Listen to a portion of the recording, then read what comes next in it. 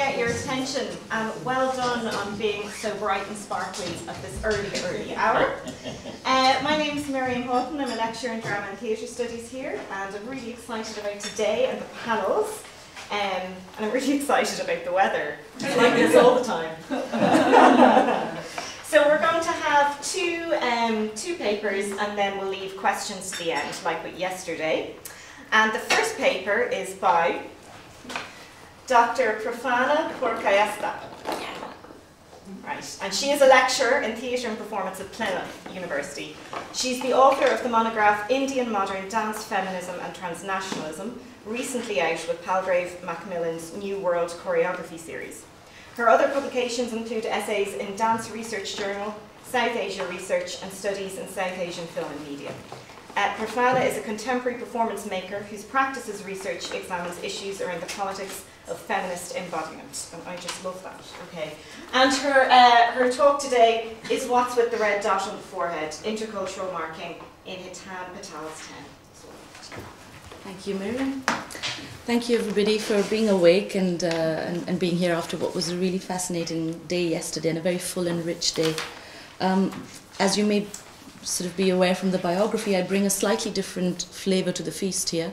Um, I trained in dance in India. I grew up in India um, and I was 25 when I moved to the UK, and I was trained uh, in contemporary dance by two feminist choreographers. But my research interest, as well as my, my practice, examines the, the interrelationship between, uh, between movement, text, dance, and theatre. I'm very interested in physical theatre as well as live art practices.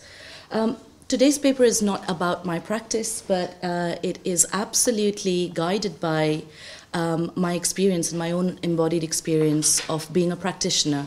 Um, and so um, it, it, comes, it, it comes from a very raw place, and the paper is also quite raw.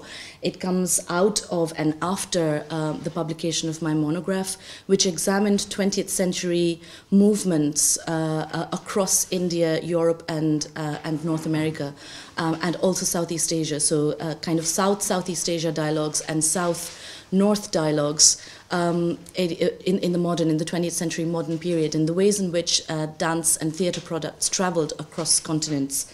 Um, but post the publication of that book, um, I'm quite interested in looking at uh, how bodies are read, and particularly how bodies of color are read in performance. Um, so, this particular piece of paper uh, comes from that place, from that, um, from that um, position of having been read and having been marginalized or having been stereotyped uh, as, as a brown Asian body in the past. Um, and so it is, uh, it is a place of anger, a raw anger, but I don't want you to think that this place, that this paper is a sort of displacement of anger. It's not just venting rage, but I hope it's a little bit more than that. Um, so I'd just like to begin um, uh, before I actually launch into the uh, paper with a small prologue.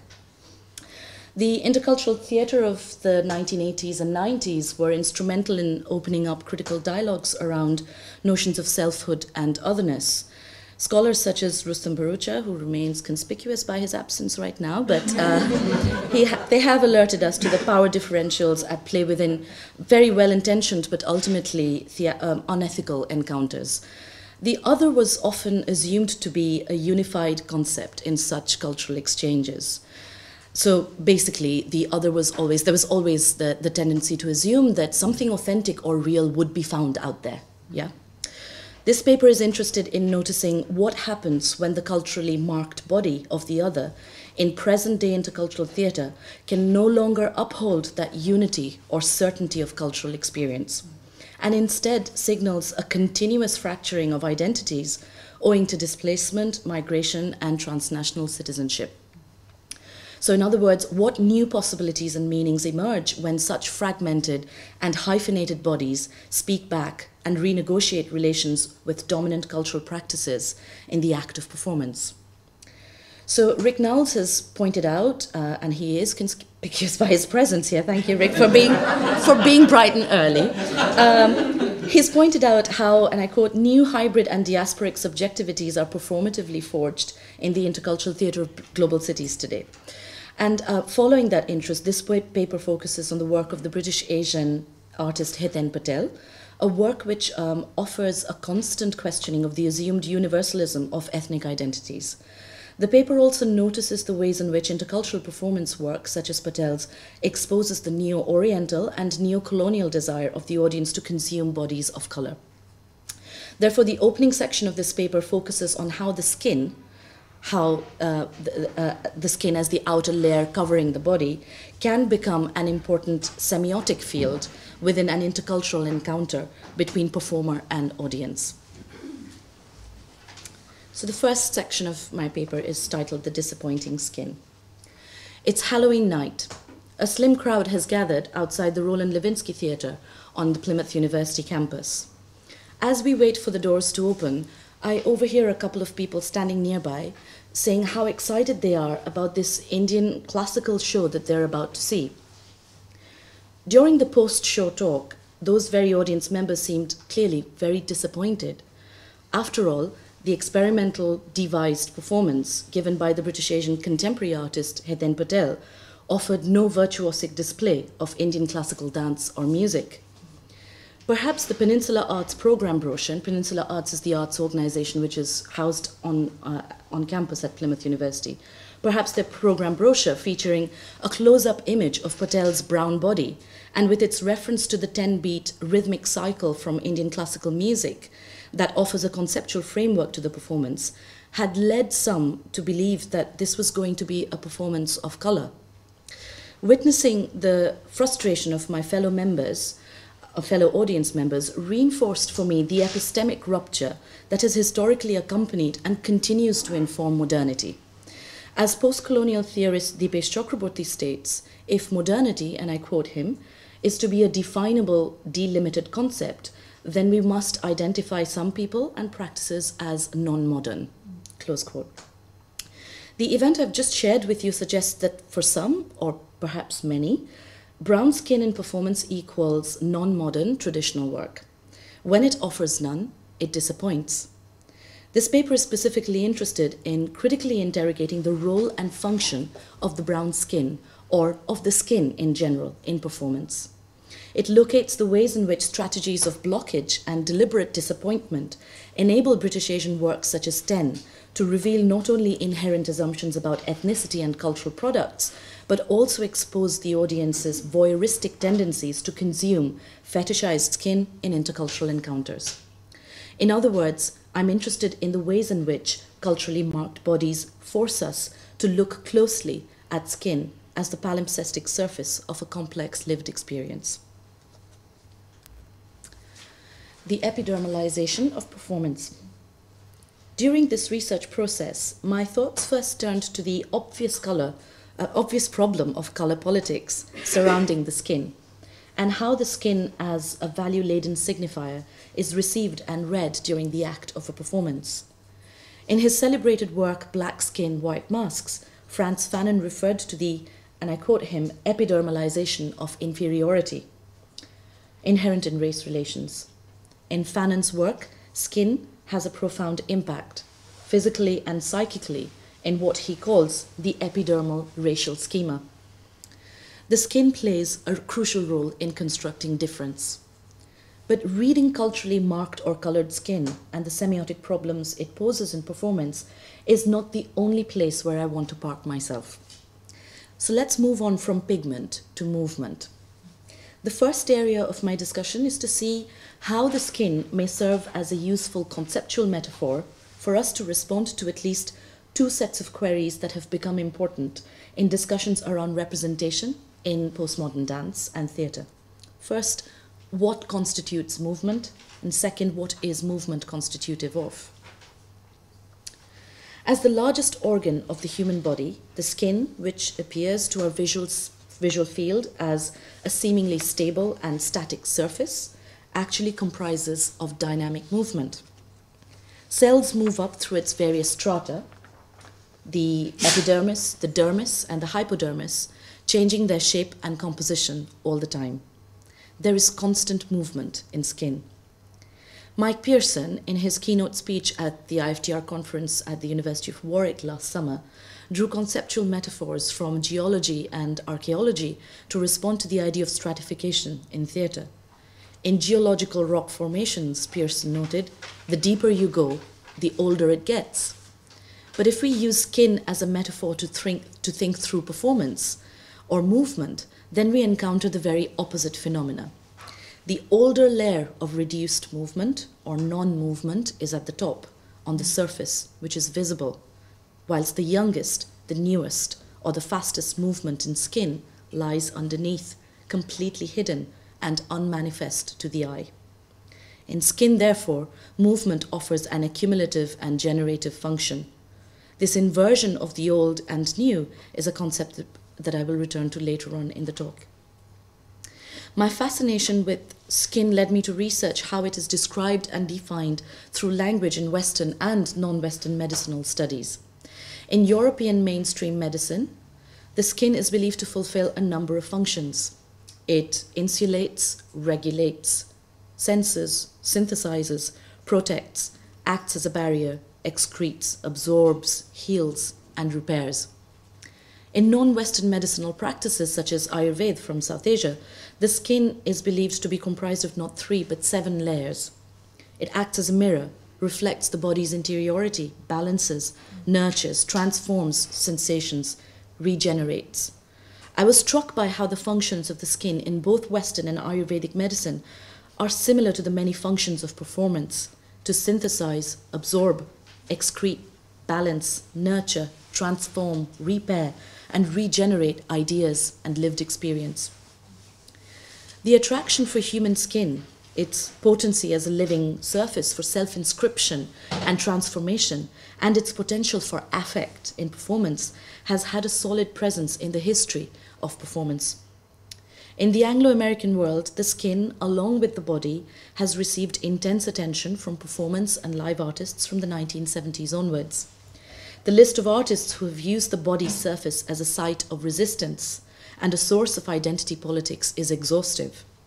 It includes works as diverse as Marina Abramović's The Lips of Thomas, 1975, in which she used a razor blade to etch a five pointed star on her stomach, Stelarc suspensions, in which his body was suspended and wired by hooking the skin in several, spaces, uh, several places, and Ron Athey's masochistic performance artworks that usually involve extreme skin modification and transformation.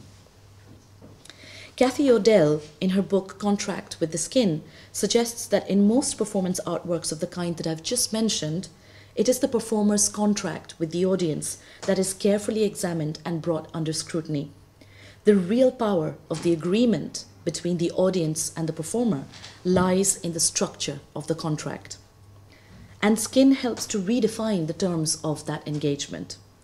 Performance art, according to O'Dell, is interested in dramatizing the importance of a transaction between audience and performer that is often overlooked or taken for granted.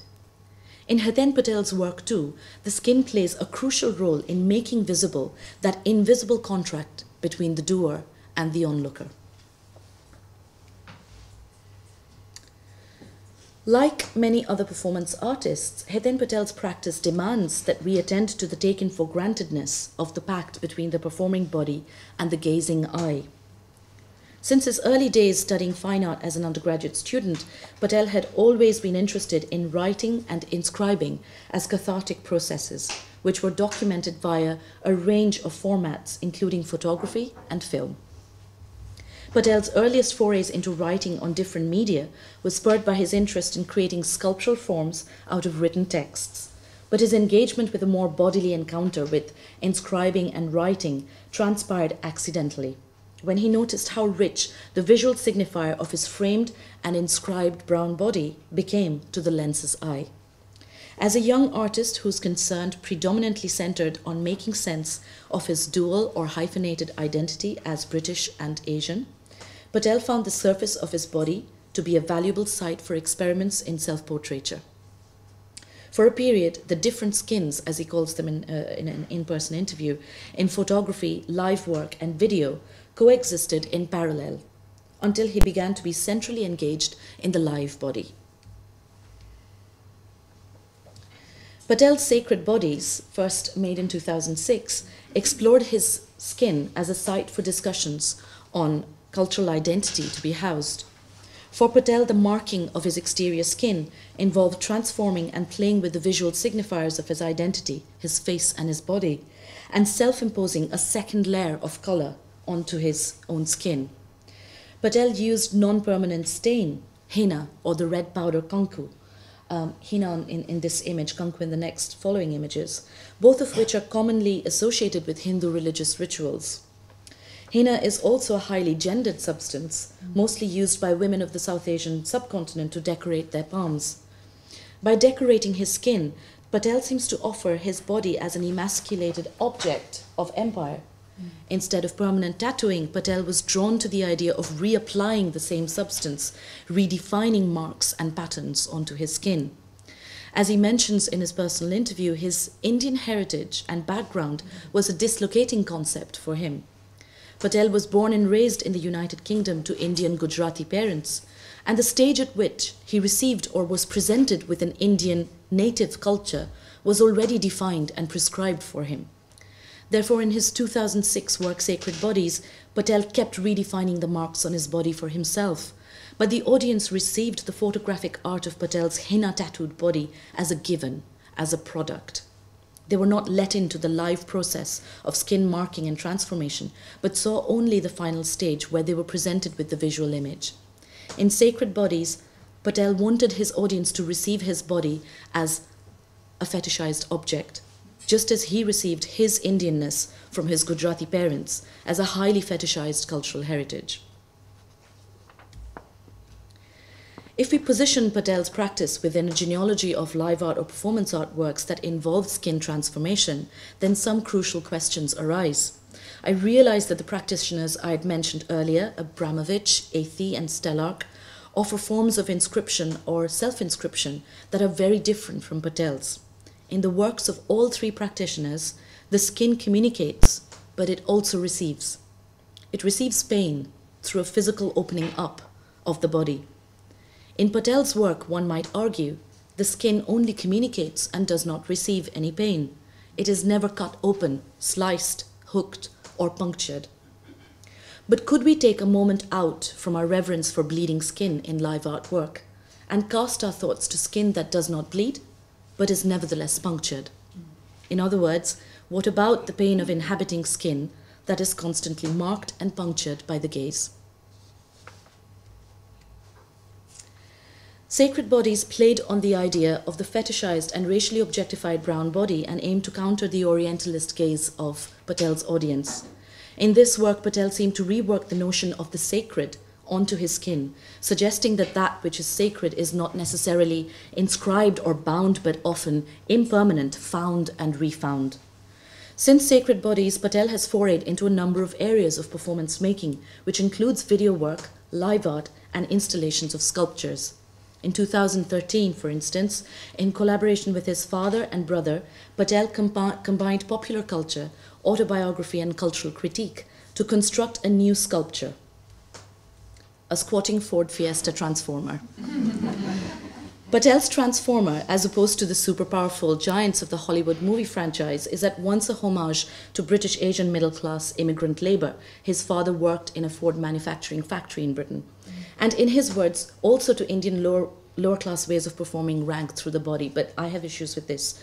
I don't think squatting is a lower, lower class way of performing rank, but that's that's a different conversation. Uh, in 2012, Patel responded to his childhood obsession with Kung Fu and Bruce Lee to make Be Like Water, a work for the theatre where he speaks but in Chinese, and a female dancer mediates his spoken text.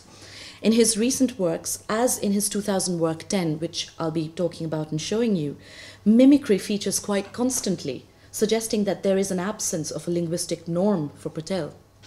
Fredric Jameson in Postmodernism has famously critiqued the postmodern penchant for pastiche, which he calls blank parody. Pastiche is, like parody, the imitation of a peculiar or unique idiosyncratic style, the wearing of a linguistic mask, Jameson suggests, speech in a dead language. But it is a neutral practice of such mimicry, without any of parody's ulterior motives, amputated of the satiric impulse, devoid of laughter, according to Jameson once again. But Patel's use of mimicry certainly seems to feature the very thing that Jameson finds lacking in postmodern parody political bite. The performance of mimicry in Patel's work, and certainly in his work 10, serves to emphasize that cultural heritage is learned through repetition, that our constructed identities are acquired and imposed rather than being a natural given. And I'll show you the first video clip to just kind of um, elucidate my point. So, can I, right, if I go here. Yeah.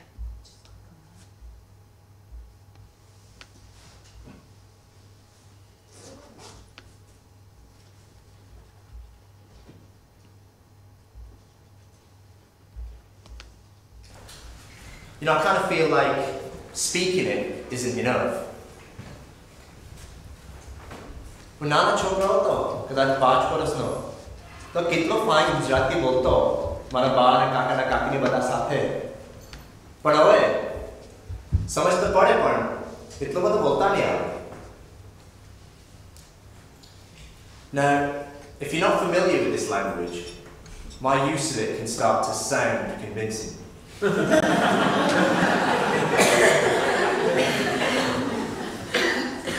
but I'm just not sure it feels like it to me, or whether it feels like I go into kind of imitation mode. Sounds odd, but sometimes I feel like I'm just imitating someone who's actually Gujarati. And, you know, if, if that is the case, then, you know, what would it mean for me to imitate somebody from a completely different culture to mine? You know, could I get into their head? Or can I understand their mindset?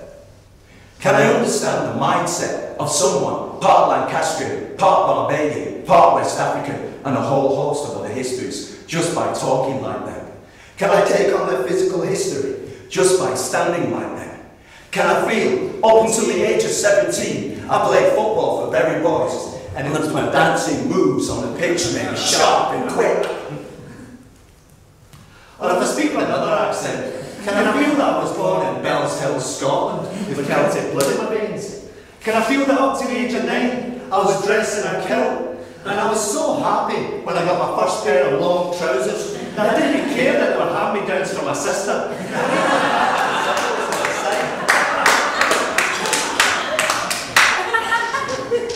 Can I feel allegiance to the McDonald clan, or a distrust of the Campbells?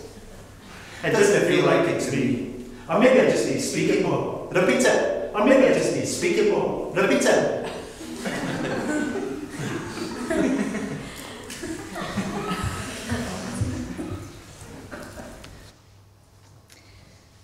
So the excerpt that I've just shown you is from 10, an intercultural collaborative work that was Hetain Patel's first piece of live performance for the theatre, featuring Patel himself, Mark Evans, a Scottish drummer, and Dave Stickman Higgins, a drummer of West Indian, Irish, and British Lancastrian heritage.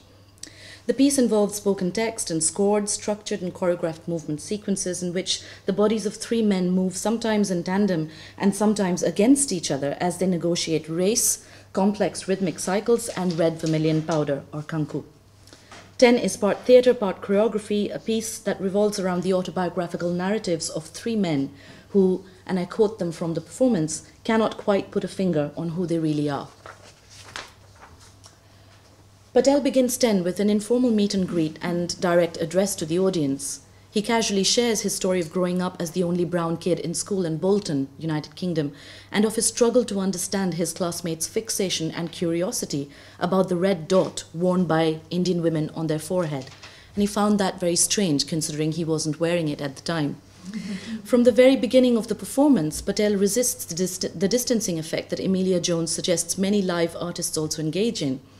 Using the tropes of live art performance, Patel draws his audience closer to his personal narrative, but then begins to thwart their expectations. For he psychs up his audience for a stunning display of virtuosic tabla playing when he shares the story of his training in Indian classical music as part of his need to understand his Indian heritage. But he does not play a single sound in the drums when they are brought in. I'll show you the second clip now. It's three minutes 12.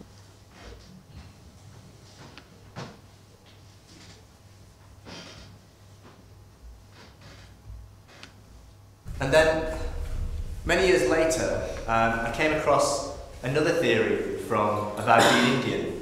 Um, and this was that actually the key to being Indian is Indian rhythm. And the greats of Indian classical music would claim that to gain a familiarity with Indian rhythm is to gain an insight into an Indian mindset or Indian thought. Now, I love this idea. You know, I, had no idea if it was true or not, but you know, I didn't care at that stage. I, I had to find out. So I rushed right out. I bought myself um, a set of Indian tabla drums, ordered them on eBay, and they arrived on the post. Obviously, they came from an Asian shop, so they didn't come quite as quickly as that. and so the drums arrived, and I found, researched myself where to find a drum teacher, and I remember kind of excitedly taking the drums around to his house, and we would start to have these lessons. Actually, that's a lie. First, uh, he would make me take my shoes off, and uh, also, to take socks off. It was uh, it's kind of a mark of respect before you enter this arena that you learn the drums. And, you know, I kind of felt Indian already because when I used to go to temple as a kid, uh, you know, that you have to be barefoot then as well. And, don't know, actually everything about this first lesson felt, in a way, like taking lessons in being Indian. Like, you know, you, you have to sit with your uh, legs crossed on the floor, and you know you have to be aware of your posture, keep your back straight, um, and you learn that there's kind of a specific way to hold your hands on the drums. And I like that as well, that you use your hands, not sticks. You know, I've grown up eating food with my hands, so again, it felt kind of Indian. Um, and you kind of quickly learn, as you learn the drums, that as well as the physical drummed part, there's also a, a vocal, chanted counterpart to the drumming. And actually, you're not allowed to touch the drums um, until you learn this vocal part. Um, I guess the, the best way to explain it is, say if you have a keyboard or a piano, and you know if you run your fingers up, the notes kind of go A, B, C, D, etc. Um, well, it's the same on the drums, except the different places that you hit the drums um, make different sounds. And uh, the notes, the, instead of A, B, C, the names of the notes are actually da, te, de, de, de, de, de, and this is kind of vast rhythm vocabulary. Um, so, anyway, I'm taking these lessons and learning all these new things, and sooner or later, I start to wonder when it is that I'm going to start to have these Indian thoughts. you know. So, Patel's hands hover over the tabla, constantly on the verge of demonstrating virtuosity as he offers a lengthy preamble about his preparation for and learning how to play an Indian classical instrument. But he ultimately offers no satisfying rhythmic display to his spectators. The tabla arrives in the space as a sacred object, a piece of heritage that is symbolic but ultimately of no real consequence to the actions in the theatre. It is like Patel's skin, culturally marked, old, a given. Although 10 offers no virtuosity, it does offer a different kind of display instead. As Patel, Evans, and Higgins begin to unfold their personal stories of confused belonging, hyphenated identities, and colliding cultures, their bodies begin to move in a scored rhythmic pattern. Their voices overlap in a layered structure of polyphonic syllables, and their hands begin to explore the red kanku which is placed on a plate on stage. Soon their pristine white shirts are taken off, and their bare torsos begin to get marked in dark red powder as the scored movements of their red smeared hands slicing the air impacts on their bare flesh. This is the last, well, penultimate clip.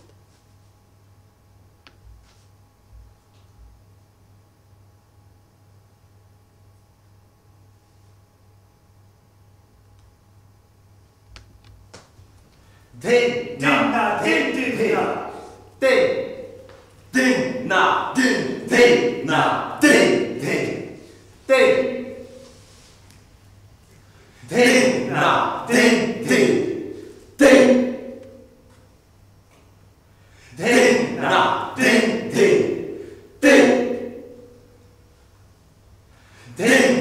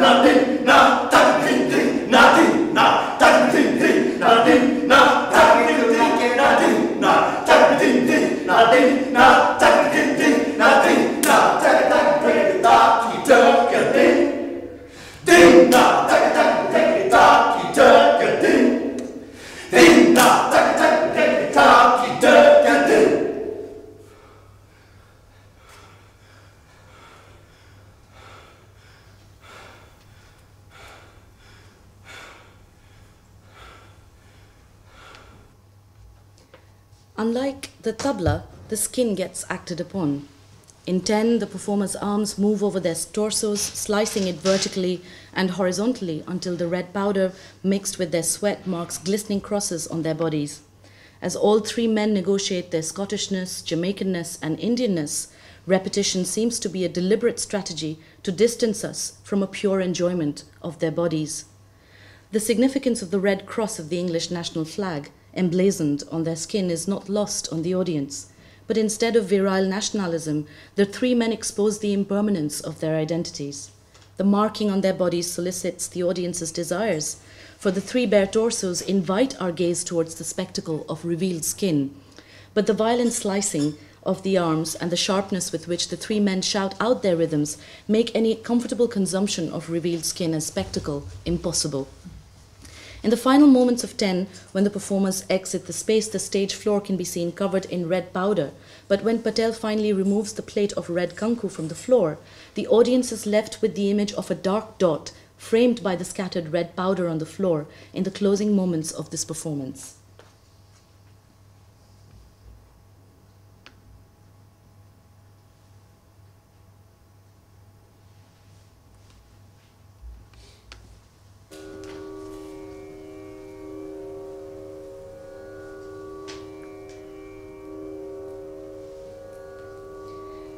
This is a powerful return to and visualization of Patel's opening concern with the red dot on the forehead as a cultural sign, except that 10 finishes not with a clean, fulsome whole of the dot, but instead with a very messy and Derridean absent presence of the red dot.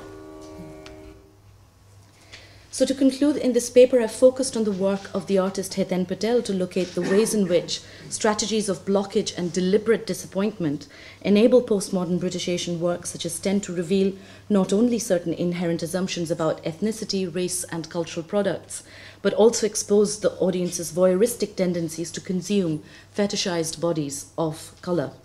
I've attempted to read the intercultural performance works of artists such as Patel's as embodied materials that place corporeal experience at the center of discourses on cultural identity, inserting the marked body firmly within discussions on the heterogeneity and multiplicity of languages.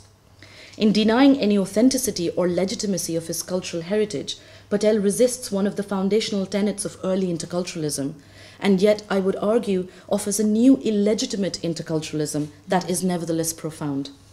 In Patel's skin work, a historical language of archaeology, layers, traces, and palimpsests seem to be evoked, just as much as a futurist language of cyborgs and technology emerges from the metal skin of his transformer. His skin based performances offer a powerful inversion of the archaeological metaphor in that his older, given, and culturally marked skin becomes the entry point to a newer, invisible skin of infinite new possibilities.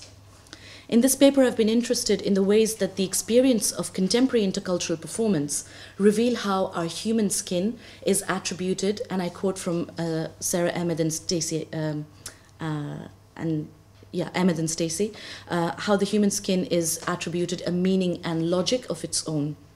Also, as Cavanagh et al. have suggested, skin has a biological life, a social life, a fantasy life, a somatic life, a political life, an aesthetic life, a life in the lived body, and a cultural life, all of which inform one another to shape what it means and how it feels to inhabit skin.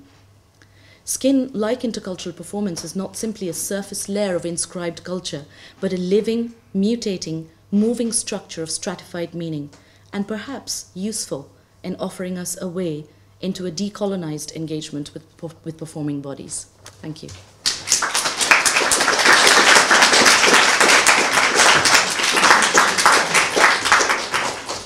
Thank you so much, Prarthana. That was absolutely fascinating. We're going to dig into it a lot much later. Uh, but now I'm going to welcome our next speaker. So, uh, can I introduce you to Victor Ladron de Guevara? Sorry, who is also a lecturer in theatre and performance at Plymouth. Uh, his scholarly work is centred on the exploration of intercultural theatre, the use and understanding of the body in performance, and the interrelationship between theory and practice. He's 16 years uh, experience as a performer and director working from Mexico and England, and is trained in a range of diverse disciplines embracing aspects of Eastern as well as Western theatre praxis. Currently, in collaboration with Dr. Rachel Hann, he's developing a new section in studies in theatre and performance solely dedicated to the dissemination of practices research projects. So welcome. Thank you. Um, well, thank you very, very much for that. Amazing. And uh, thank you as well, Charles and Jason, for inviting us. It's been amazing. It's been really, really lovely. Um, the caveats, the starting caveats of all papers, and to kind of, you know, just to take it away and saying, sorry, I'm very, very sorry for what is going to happen. The next one is the perspective that I'm taking is from the practitioner researcher.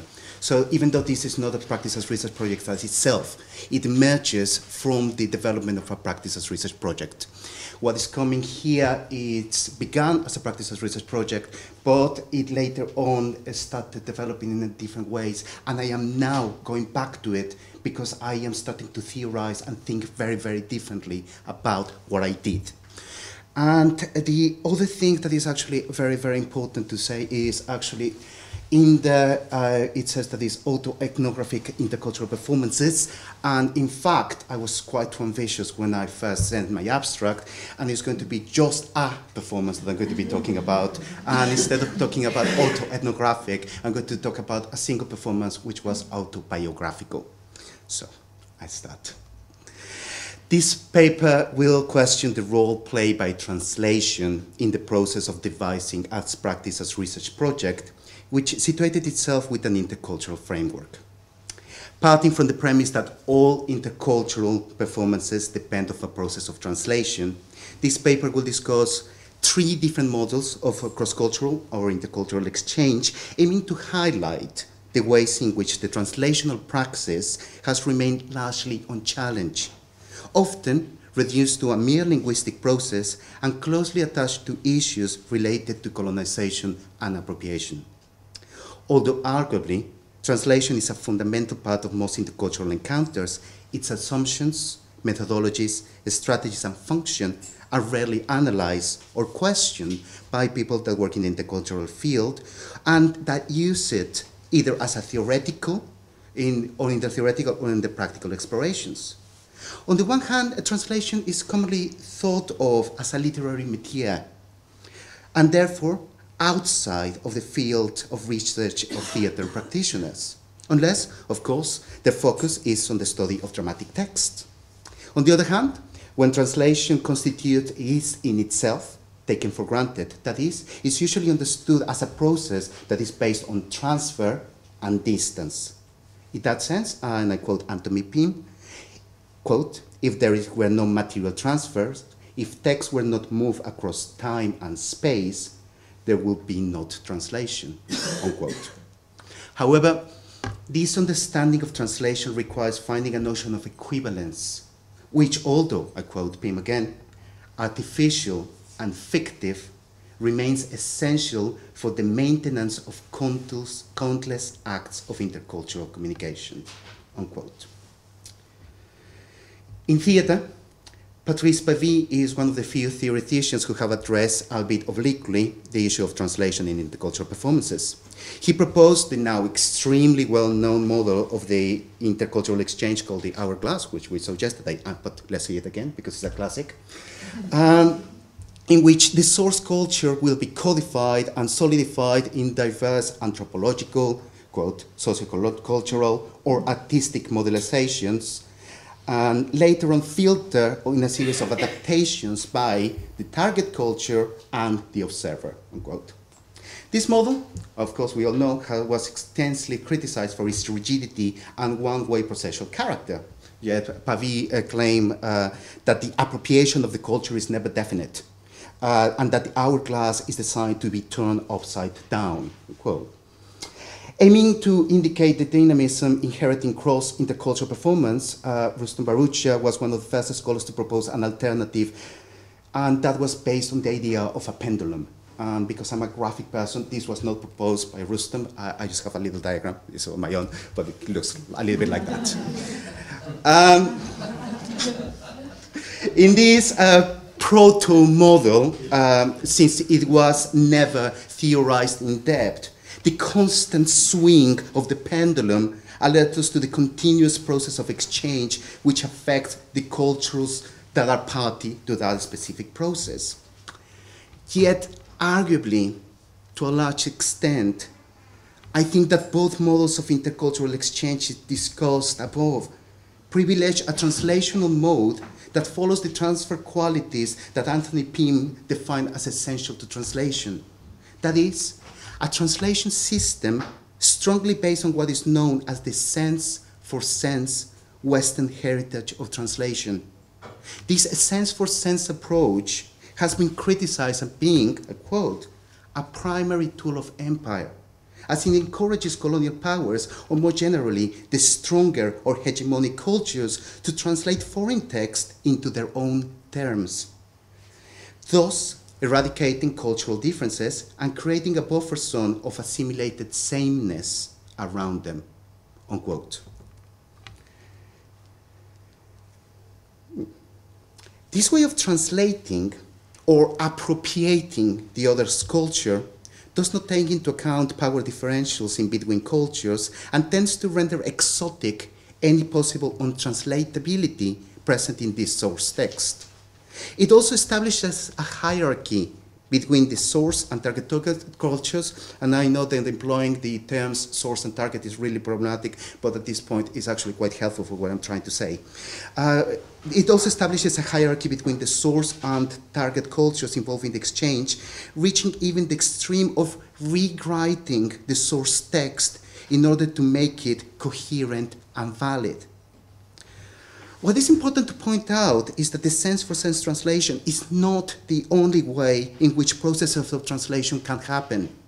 In recent years, post-colonial theorists have proposed several alternatives to these translation methods, which can be mostly integrated into different tendencies. The first one is known as foreignization strategies, where the translated text remains as close as possible to the original one. Foreignization translations require a pre-existing degree of knowledge of the target culture, sometimes quite extensive.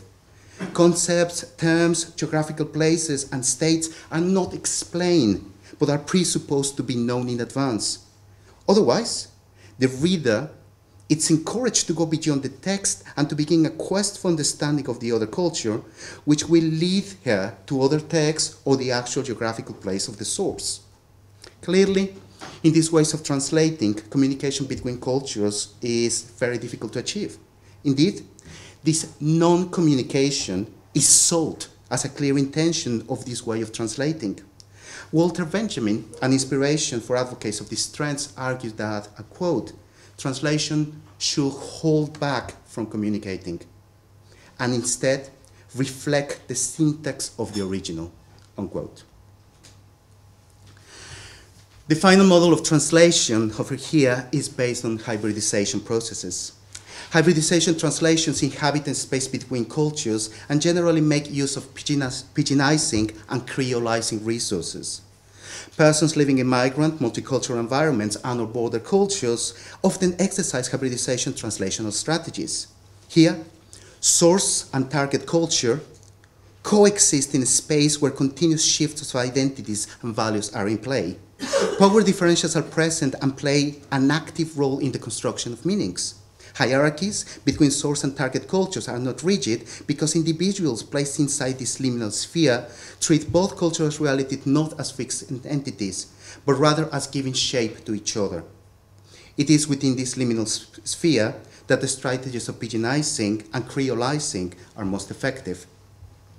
Hybridization strategies have been largely articulated through the use of post-colonial theory. As such, it should not surprise us that there is a model in theatrical performative intercultural exchange, and here I'm going away from text and talking about performances. Um, there is a model uh, of intercultural exchange which acknowledges and strives for the occurrence of hybridity. This third model, and it's also really well known, it was proposed by Jacqueline Lo and Helen Gilbert, and resembles a toy made of a piece of elastic strung to, through the middle of a plastic disc. The diagram reinforces the dynamism present in intercultural exchanges through the existence of centrifugal and centripetal forces of exchange. It also situates this process within a specific socio-political context and pays special attention to issues related to power differentials, quote, agency, hybridity, and authenticity, unquote. Interestingly, to the best of my knowledge, there have not been significant attempts to suggest alternatives to Lo and Gilbert's model, which is something that can be interpreted as a proof of its pertinence and relevance. And this model was first published in 2002, so it's kind of it's been uh, around for quite a while now, and nobody has said, "Oh no, I, I want to suggest something that this is not working." However, for me, what this model does not explain is what happens at the moment of the exchange, nor reveals how this process occurs. In other words, what is missing here is the analysis of the translational process of the moving across which occur during the multiple turns of the spinning disk. And this is not coincidental. In the article where this model was first proposed, Lo and Gilbert criticized Pavis's model for its, I quote, dependence in translation theory, unquote. Yet, despite the fact that their own model also relies in, quote, both partners is still undergoing a similar process of filtration and hybridization, unquote, that is, a process of translation, the inner workings of this process are still assumed to be unproblematic and straightforward. It is at this point of time which will be appropriate to question what is exactly a hybridization strategy of translation?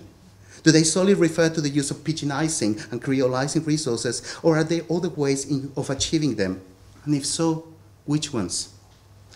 As a practitioner researcher, a key question that was a key question that has driven me to the creation of a number of practice research projects, and one of which I will be discussing next. The project was entitled Time Zones and was first performed in 2011, was directed and co-devised by Dr. Jerri Daboo. In time zones, I use England and Mexico's time zones as markers of a constructed personal history in which I evoke my late grandfather and my then four year old nephew to explore instances of my own past, present, and future. Time Zones was a self declared autobiographical performance piece based on three main stimuli, which, later work, uh, which will later work as devising axis in the creation of my work.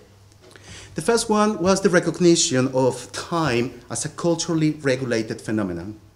Having lived between Mexico and England for the last 16 years, I am now used to constantly adjust my clock, both the internal and the external one, six hours backwards and forwards, constantly. As someone who is deeply interested in intercultural practices that advocate cultural specificity, time, location, and culture appear to be interesting elements to explore as the main materials for the creation of my performance. However, I was not interested in exploring the existence of different temporalities. I was also interested in looking at the interplay and their collision. After all, when I'm in England, there are still some aspects of my life that continue to operate in Mexican time particularly those moments when I travel from one country to the other and I have to endure a period of jet lag. but in the same way, there are also events, news, and opportunities that arrive to me with an uncanny delay because of the incompatibility of the time zones that I inhabit. As such, working with Mexico and England's time zones appear to be an adequate metaphor of my experience of both an immigrant and a migrant. And in here, it is important to stop for a second just to consider in more detail um, the role and function of metaphors so that I can make completely clear that what I'm referring here is not a purely or mere linguistic process. As George Lakoff and Mark Johnson have maintained, it is through metaphors that we articulate our conceptual systems, characterizing our way of communicating and by extension our way of living. That was a quote. However, it is also crucial to understand that, and I quote Thomas Csordas here, a metaphor is the critical meeting ground between textuality and embodiment, unquote. This is an insight that was first proposed by an anthropologist called Laurence Kirmayer, who, when discussing healing practices around, world, around the world, stated that, I quote, metaphorical thinking conjoins sensory, affective, and motivational levels of representation in which that can help account for physio-psychological effects on symbolic interventions. Metaphors transform our perceptions and representations by moving them through sensory, affective, and abstract conceptual spaces, unquote. Furthermore, a metaphor is always, quote, grounded in the body and emerges from it, producing categories of thought and experience, as well as being culturally produced, unquote. In other words, metaphors allow us to grasp in uncertain terms, in uncertain terms the, the perpetual interplay between embodiment and textuality, and as such, are exceptional vehicles to draw upon when engaged in processes of cultural translation. Returning to the process of creation of time zones, I would like to go and talk about the second stimulus uh, that I used to create my work, and which was uh, paradoxically uh, an event that took place before my decision to work with the idea of time as a culturally regulated phenomenon. And I was first inspired to create this piece when I discovered a photograph of my late grandfather in his early teens. My grandfather uh, passed away when I was four years old, so I have really few memories of him, and most of them are of him as a very tall an elderly presence. Um, however, in those photographs, I clearly saw my face reflected on his, and the likeness awoke a vivid sense of belonging. I then thought that it would be interesting to devise a piece of work in which I could explore my own genealogy and heritage. And since the image of my grandfather pointed towards my past, I started looking for a figure that could embody the notion of my future. And not having kids of my own, I decided to include my nephew Richie in that performance. Mm-hmm. Little guy over there. And then I started to become increasingly excited about the possibility of creating a series of fictional encounters between my late grandfather and my young nephew. the third um, stimulus um, axis of my performance, and probably the crucial one, was of a completely different nature. In 2007, trying to eliminate the widespread perception of legitimacy towards his government, the then Mexican President Calderon declared a war to all drug cartels operating in the country. Since then, the violence and criminality there has increased tenfold, and as a result, more than 150,000 people have died and thousands of thousands of people have gone missing. Entire regions of the country are literally no-go areas, and in the UK, a couple of years ago, the Home Office declared that half of Mexico was unsafe to visit. Even though this situation in Mexico is recalled, is, uh, being reported and discussed widely in the British media, when I first started devising this performance, there was a scarce recognition of the level of violence happening in Mexico. Raising awareness of these painful and unjustified acts of violence became the final stimulus of my work. And I decided I could use my story to tell the story of a country that is going through a critical time. It is also very important to clarify that in order to develop this piece within the intersection of the three axes described above, I had to situate my work within the tenets of both intercultural and autobiographical performances. This was my story. But it was also a story that occurred across two different geographical spheres and several different temporal realms too. Interesting enough, one of the first problems that I faced with devising this piece was a concern which is common to a significant number of practitioners that do autobiographical work. How to produce material which can resist notions of essentialism, authority, and authenticity.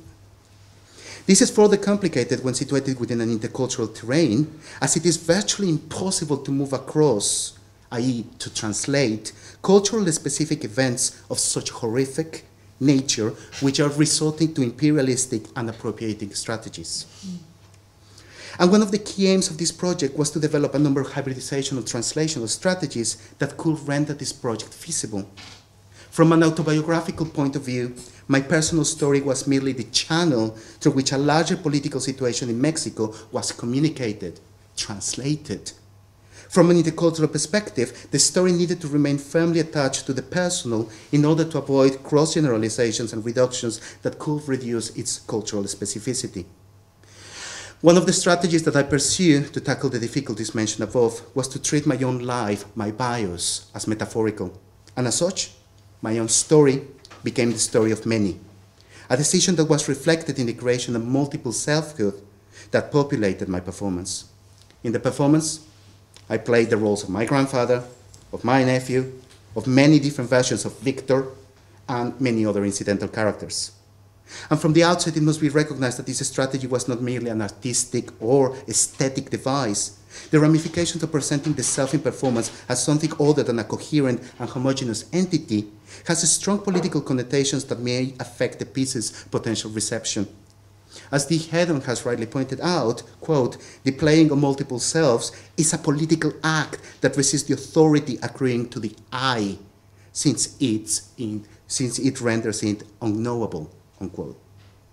As I have also mentioned before, it was important for me to make patently clear that what I was presenting in my performance was just not about me, and that meant playing in a very open manner with the idea of who I was the interplay of cells was rather evident in a small scene situated shortly after the beginning of my performance. In there, after a small discussion about quantum physics, uh, as you always start uh, performances, I proclaim that I was a time traveler.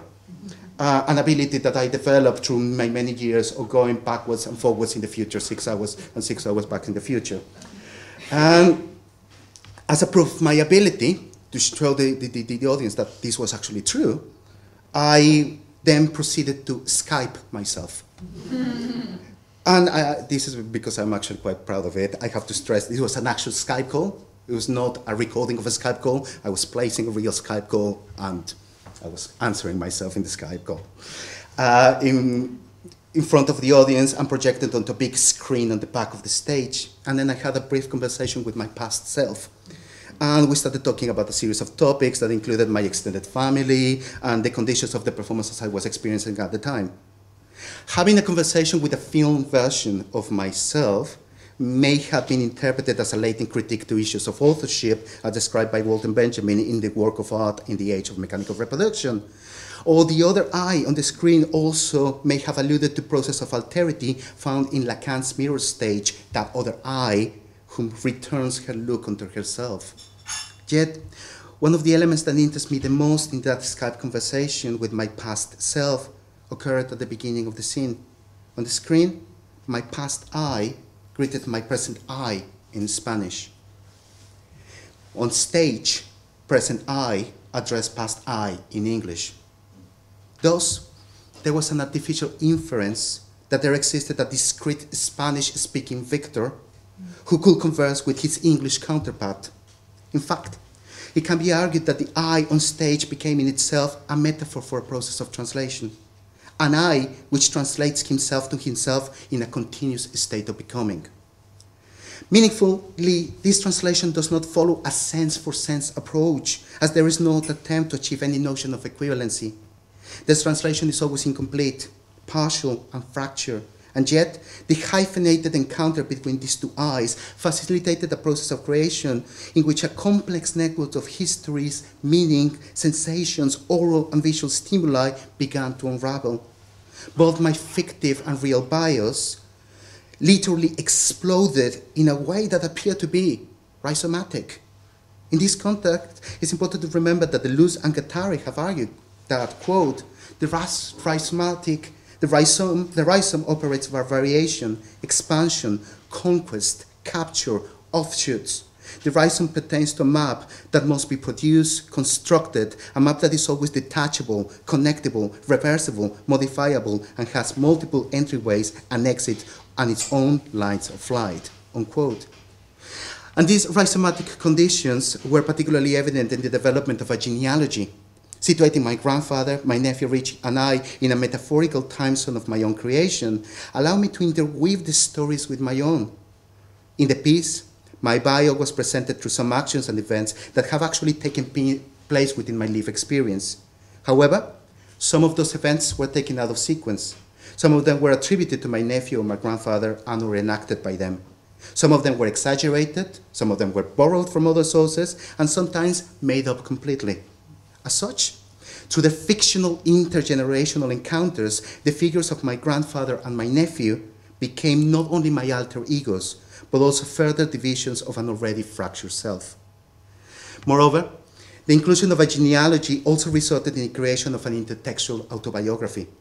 Aiming to highlight the artificial construct of my family history, I mythologized it and I related to Aztec creation myths or I adopted references from key narratives within the Latin American literature canon, such as the inclusion of an all-powerful absent figure, the cacique, as found in novels uh, such as Pedro Paramo or A Hundred Years of Solitude. Of all those references, my favorite one was the section when I recounted the foundation of the Ladrón de Guevara dynasty, my grandfather's surname.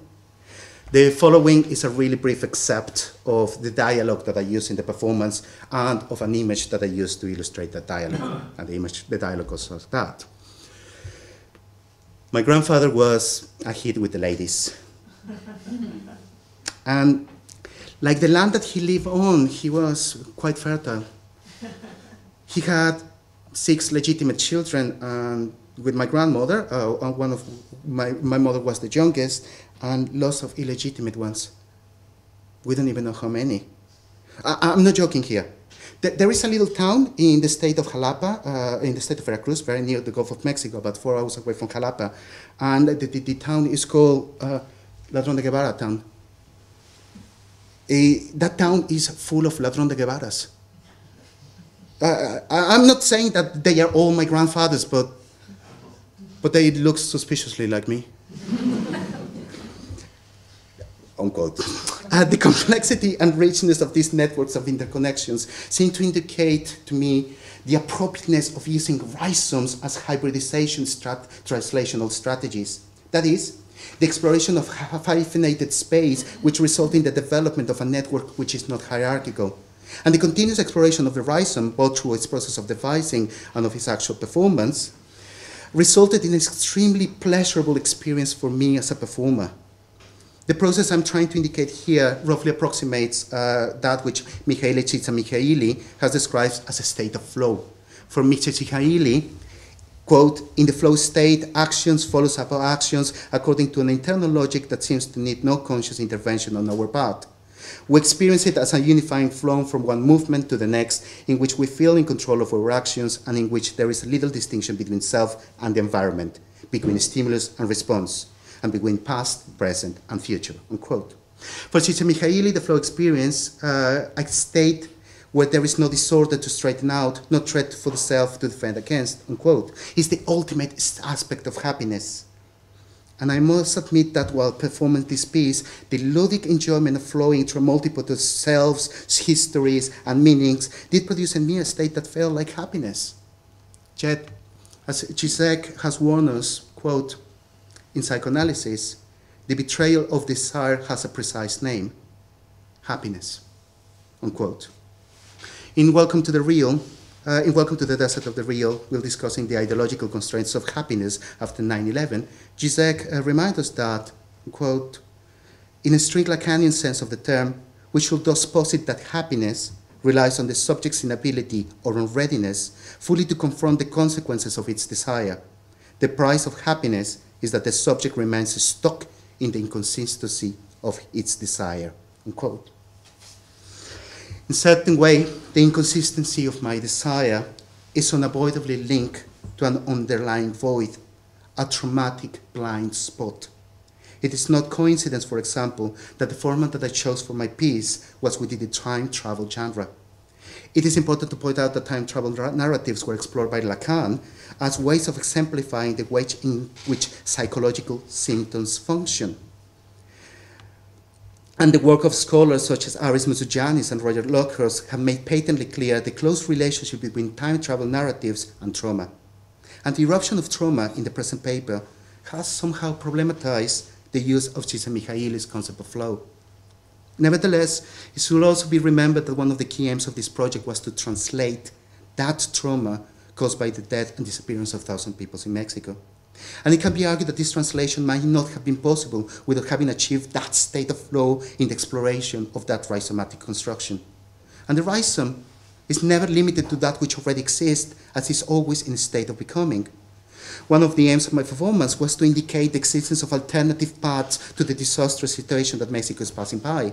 Heddon has pointed out that, quote, the performance of personal narratives might bring hidden, denied, or marginalized experience in the spotlight, proposing other possible life paths, unquote. Towards the end of my performance, I referred to the possibility of my nephew becoming one of the people responsible for the violence as a grown up, in other words, a thief, criminal, a murderer. And the whole performance is then revealed to be a warning from the future, letting him know that he has a choice not to become hurt. In a modest way, the whole piece aimed to be a small site of resistance. And in this respect, the use of rhizomes as translational strategies appeared to be coherent, as Deleuze and Guattari indicated that rhizomatic thinking had a clear political underpinning and was aimed to develop new ways of thinking and doing. Yet, I think that we need to be quite careful with doing grand claims, claims because once again, Zizek, uh, talking about uh, Shrek offers us a cautionary note when analyzing the subversive character of mainstream films that appear to break all canons. Zizek sustains that, quote, Instead of praising these displacements and reinscriptions too readily as potentially subversive and elevating Shrek into yet another site of resistance, we should focus on the obvious fact that through all these displacements, the same old story is being told. In short, the true functions of these displacements and subversions is precisely to make the traditional story relevant to our postmodern age and thus to prevent us from replacing it with a new narrative. Unquote.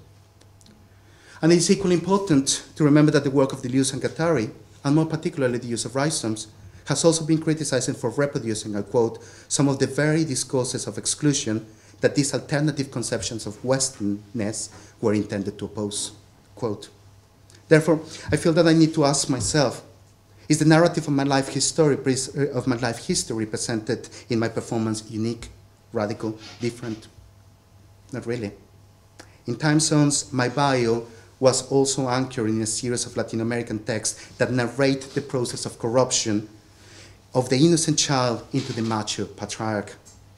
Men who attempt to dominate the social and political environment, such as novels written by Carlos Fuentes, like The Good Conscience, or by Romulus Gallegos in Canaima. In other words, is the narrative that I presented in this performance completely circumscribed to a cyclical understanding of reality where there is no possible way out? And more importantly, for the uh, purpose of this paper, is the reality, is that reality actually translatable in non-arboreal ways? My hunch is that as Lo and Gilbert's model of the disk continue to spin, the clash and encounter of the different registers produces translations that are at times arboreal, that's sense for sense translation, at times foreignizing, and at times hybridizing, and even perhaps some very few times rhizomatic. However, it may also be that what I have described here are in fact not hybridization strategies, but are coming closer to that which I have described as foreignization strategies. That is, perhaps, that they are surrounding on their own circuit and not, not translatable and not understandable. If so, the betrayal of these translations may not reside in their inability to remain faithful to the original, but their impossibility to create difference. Thank you.